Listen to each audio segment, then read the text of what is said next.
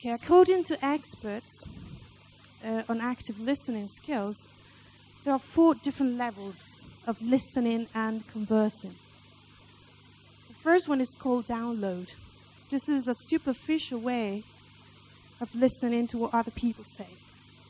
We just listen from habits because we are social beings, as Christina has pointed out before.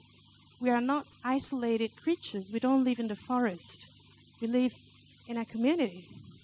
Because humans are political beings, as Aristotle said long ago. So it's out of politeness that we listen to other people.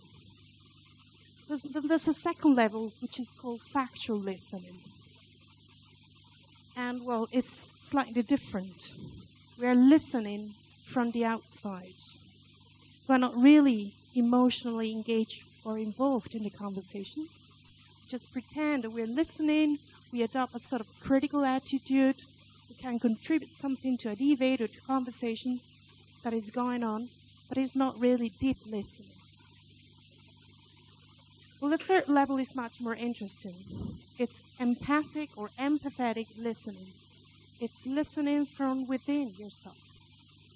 Is empathizing with the person who is in front of you. It's mirroring what that person is feeling. That's the basis of fruitful and rich dialogue. And then you've got the fourth level, which is generative listening, which is listening from the field. It's looking at a conversation from multiple perspectives and angles. Remember what we talked about yesterday when we discussed design thinking. So generative listening is an, a door open to a world of possibilities. Because when you listen to what another person has to tell you, well, that's the beginning of a learning experience, a memorable experience. And that's the basis of true knowledge. Just think about ancient philosophers, think about Socrates and Plato. Their way of listening was generative, productive. It led to cultivating interesting philosophical ideas. And this is the kind of listening that we should cultivate in our classrooms. Okay, here you have a handful of seven active listening skills. Just have a look at them and see whether you identify with them or not. Do you practice these active listening skills? Are you attentive when you're taking part in a conversation? I mean, in a deep way, not in a superficial way.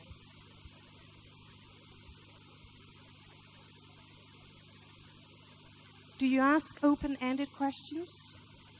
Questions that give the other person the chance to go deeper into how he or she feels, into his or her motivations, aspirations, and dreams?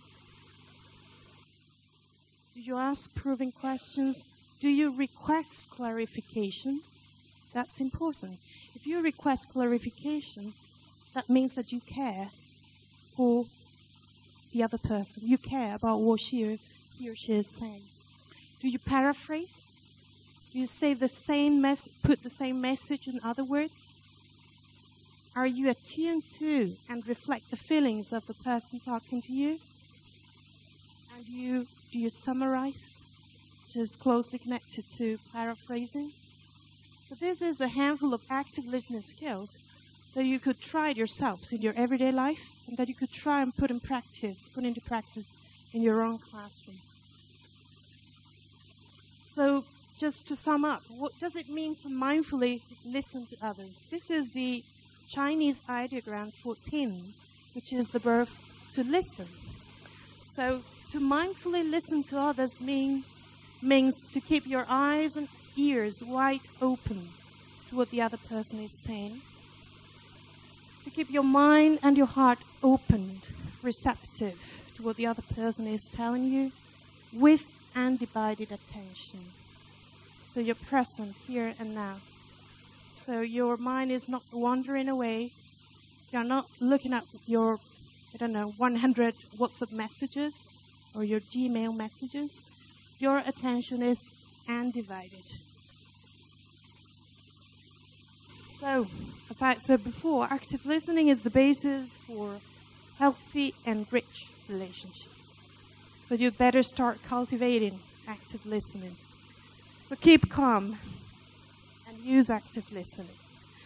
And now we're going to do a, a practical exercise, which is going to be guided by Christina, in which you're going to put into practice these listening skills that I've been presenting to you briefly. Right? So let's do an active listening dynamics. And let's start to learn to be or to become great listeners. Right?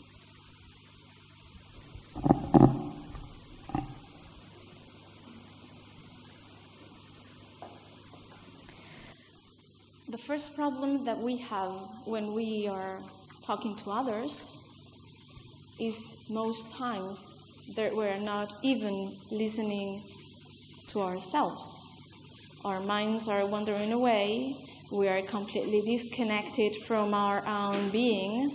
So, in order to be able to listen to others, firstly, we need to be aware of ourselves. And how do we do that? We were doing that yesterday, and we will continue to do it today. Our class today is also mindfulness. So, what we're doing today is giving you more tips about mindfulness. What we're doing today is not different from what we were doing yesterday. Yesterday, you had just an introduction to mindfulness, but today we continue to go deeper into what mindfulness entails. So we're going to uh, do now um, um, an activity related to active listening, but we can't actually actively listen to others if prior to that we are not aware or who we are, of who we are and where we are and how we feel. So, do you remember that I was saying that emotions cannot be understood from here? Was I saying that? So, before doing this active listening activity, we are going to do a very touching meditation in which I'm going to invite you to deal with a difficult, emotionally involved situation that happened to you in the past. Okay? Before this meditation and then the active listening um, activity. If someone doesn't feel comfortable uh, when we're doing this meditation, just be with it. Don't try to change how you feel. Just be with it. All right? And if someone doesn't feel comfortable, if still you don't feel comfortable, stop doing the meditation because we are aware that this meditation can be difficult. Okay? So I'm going to invite you uh, to put your tables down and to make yourselves comfortable in your chairs.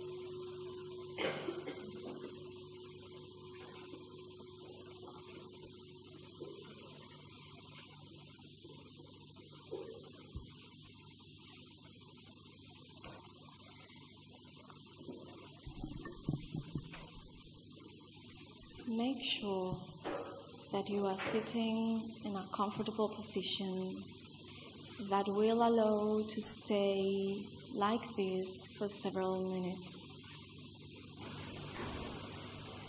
Make sure that your feet are on the floor, that you can feel the floor, and that you can feel your own body sitting down, staying still in your seats.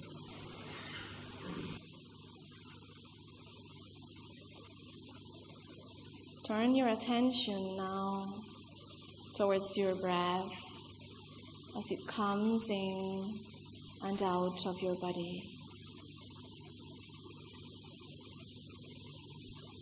Scanning your body now. Do you find any tension somewhere?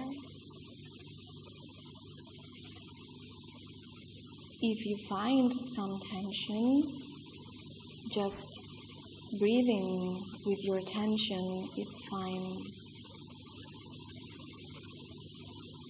No need to fight that tension, just exploring this tension with your beginner's mind. Inspect it as a detective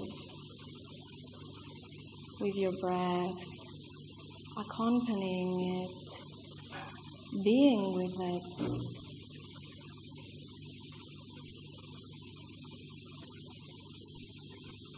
And if you don't have any tension, or if you feel comfortable, feel that in your body. Stay with your body, whatever your body has to tell you.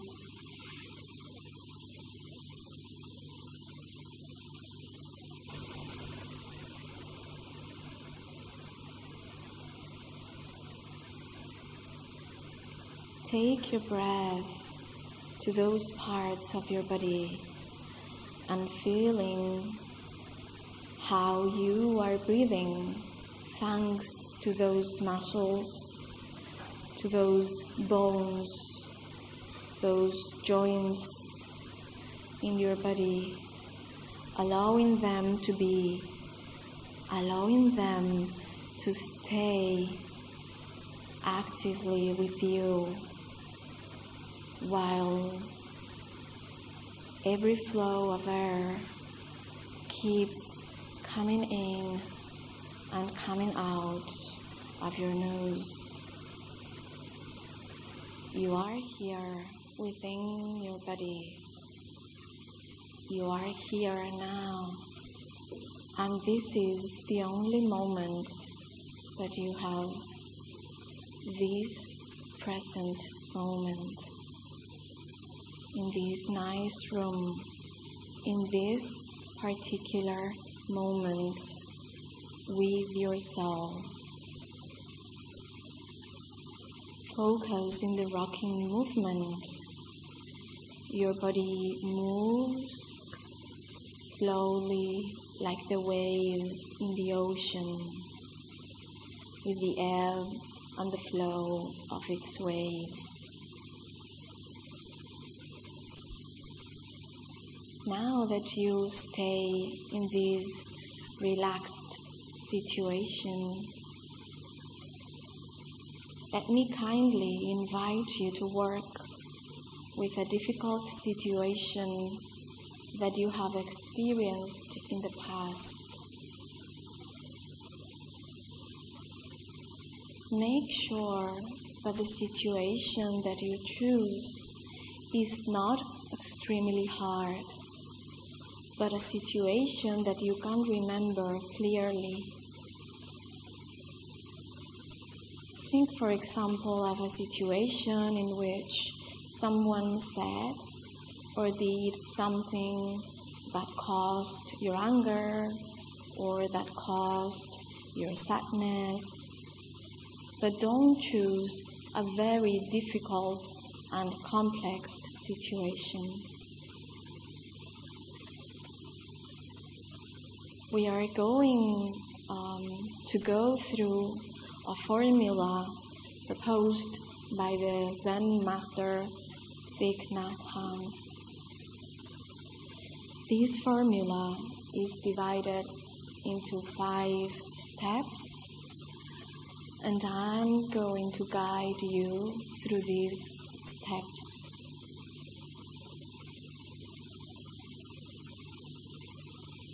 Once you've chosen your situation, now allow yourself to imagine it as vividly as possible. Recall the context in which it happened, the stimulus which triggered it, your emotional state when that happened, and your personal circumstances that explain why you reacted in that way.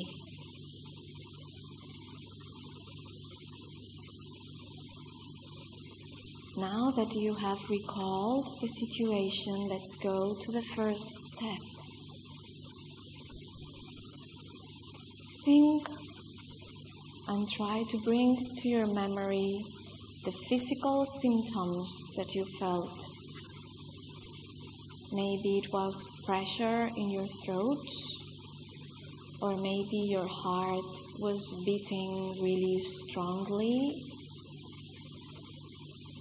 Maybe you had a headache, or maybe gave you a stomach ache.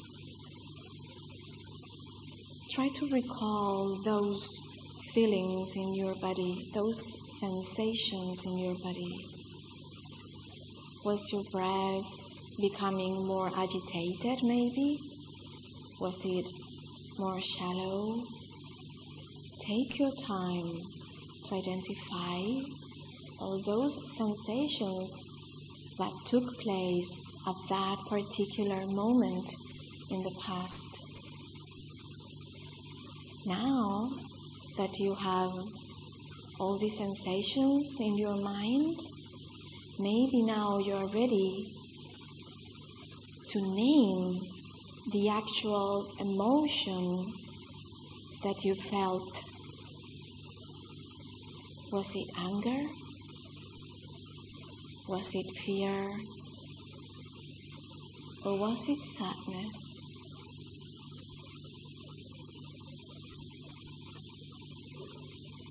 Now that we have just discovered the emotion, we have covered the first step. Let's go now to the second step. The second step has to do with acceptance.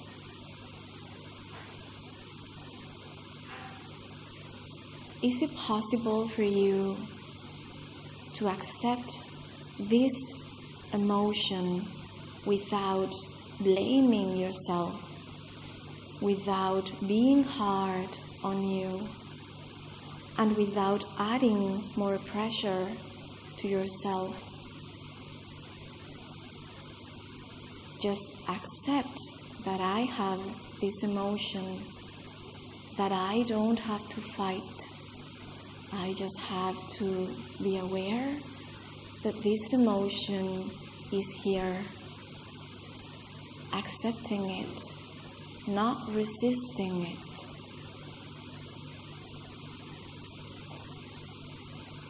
I am a human being, and as a human being, it is okay to have this emotion. I can create the space within me, for me, to be with this emotion, and this is okay.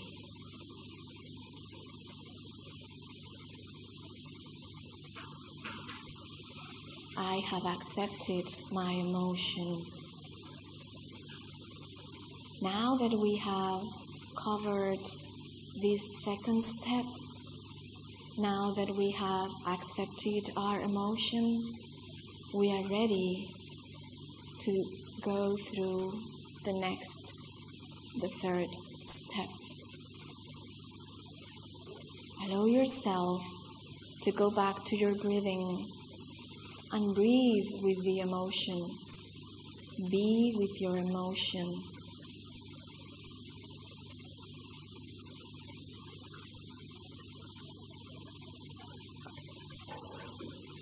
Inhale. I have this emotion with me. I am feeling this uneasy emotion and it is okay. Let it be. Exhale and feel this uneasy emotion within you. It is already here. It is what the present has brought to me. Embrace it and be with it. It is okay to be with it. Now that you have covered this third step, we are going to make our way to the next step. We're going to gain distance from this emotion. I have this emotion now, but I am not this emotion.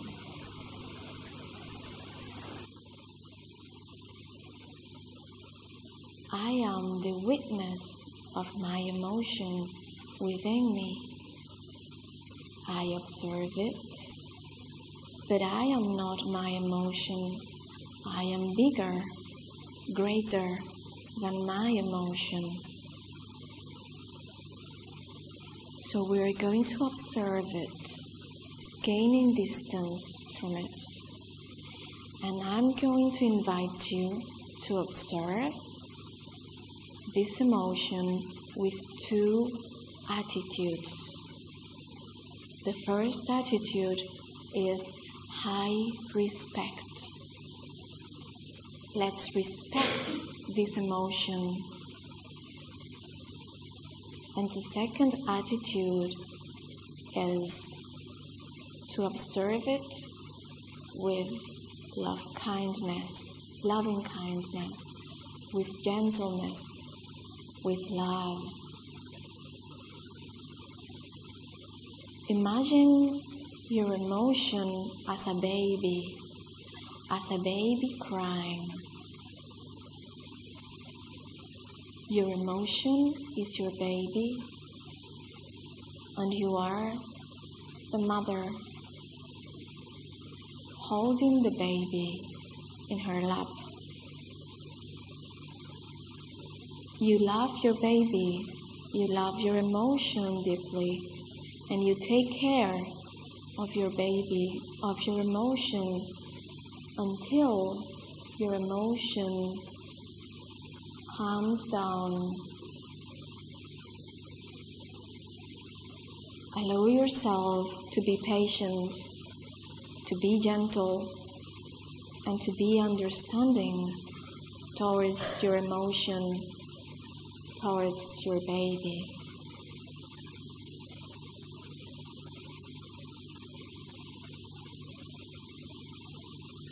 Now that your emotion has calmed down, you have created the space to respond to the situation rather than to react, to oppose, and to fight your emotion. You have given yourself the space you need, the place where you can suspend your just your judgment, your prejudice, your reaction. And in this space you can observe your inner self without any noise, without your mind going crazy, jumping here, jumping there. You can hear in this space, truly understand the real and the deep causes of that emotion.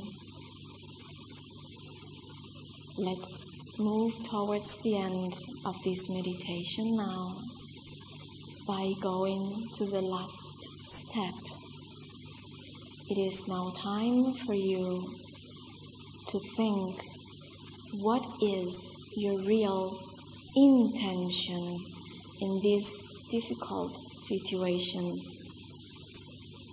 And it is time for you to think now and to remember it before responding in a mindful way, which is my intention, which is my guide in this situation. As we approach the end of this meditation, take a moment to thank yourself deeply for having devoting your valuable time and for having been brave to face this emotion.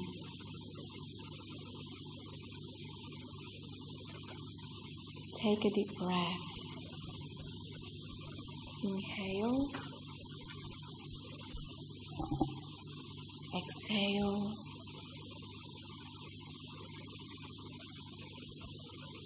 Inhale. Exhale.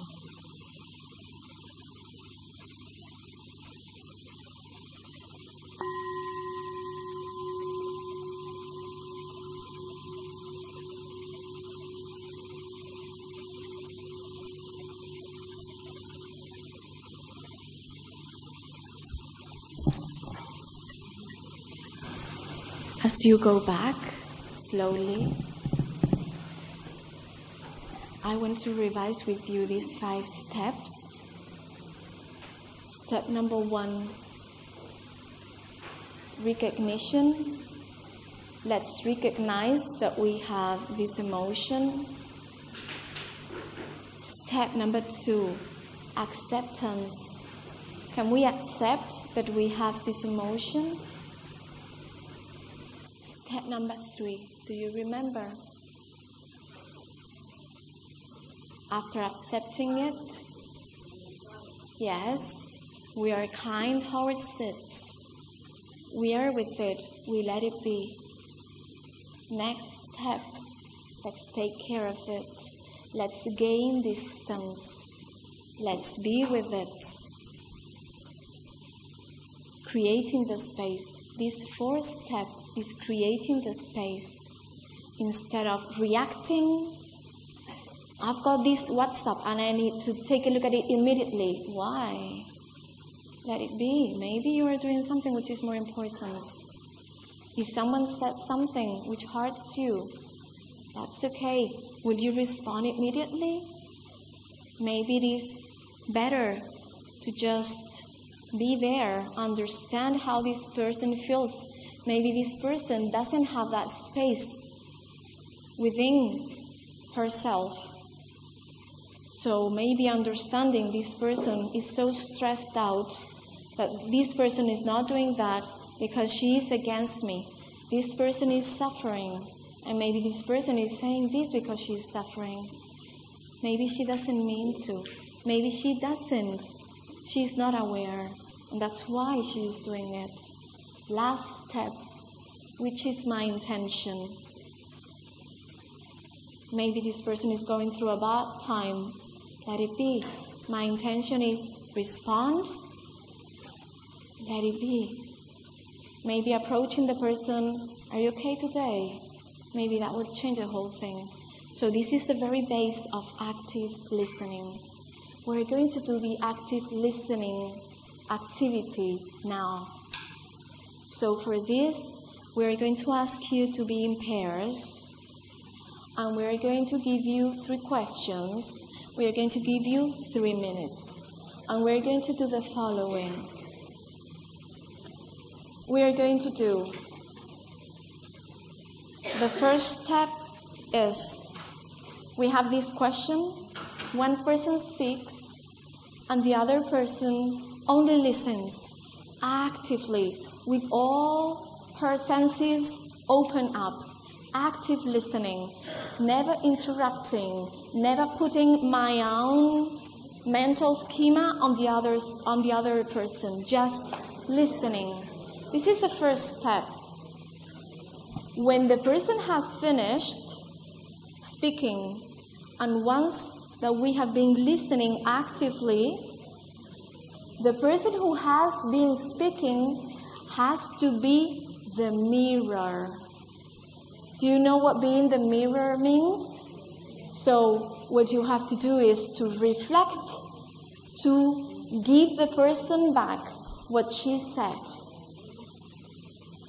When I play the gong, you will stop. And then we will do a next step. This next step will be now that you have told me, now that I have given the same back to you, I am going to share with you what has impressed me most about what you said. Only one thought I got really impressed by how brave you were, by the way you expressed this. Okay? So I will play the gong. First time to start, the person speaks. Second time to reflect, the other person reflects the image. Third gong, the person who reflected also adds one little emotion, idea, feeling she got when listening in true communication. Do you follow the dynamics? Okay, I'm going to ask the question. I'm going to give you one minute per person. Okay, one minute. Are you with your pairs?